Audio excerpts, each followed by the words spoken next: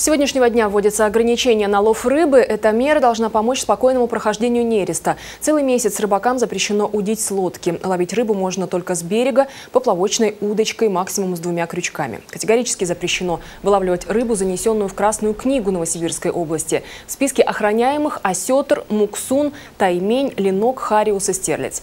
Нарушителям грозит наказание от многотысячного штрафа до возбуждения уголовного дела.